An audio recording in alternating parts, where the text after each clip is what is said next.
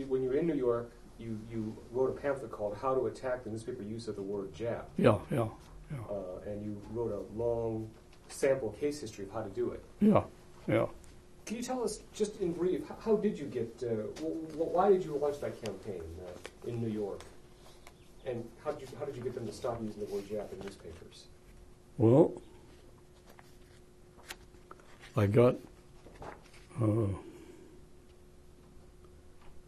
well, you know, uh, Standard and Poor's was one unit, was a, a newspaper guild unit representing the Standard and Poor's group. And uh,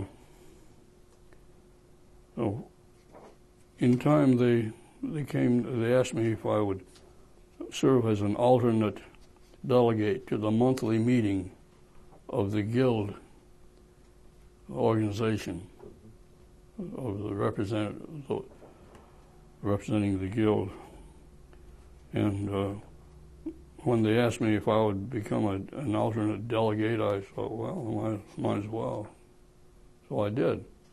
And when I went to those those meetings as an alternate delegate, I learned that the guild had a provision already enacted uh, stating themselves to be against the use of derogatory epithets in uh, American publications.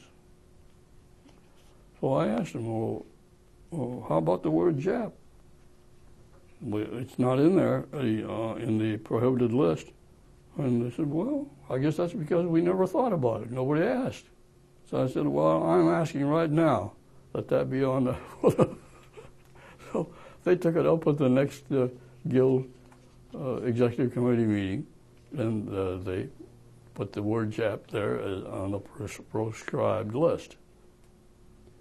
And not only that, they thought that was such a good idea that they volunteered to take a, bring it up at the national uh, guild convention that was being held that the in autumn of that year in Portland, and uh, so they revised my original uh, proposal a little bit.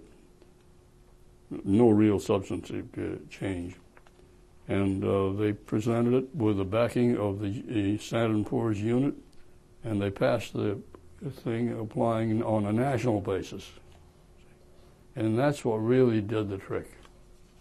That, that piece of news got into practically every newspaper in the country. Really, Yeah. it was the first. First time any organization has come out in open opposition to the use of the word Jap.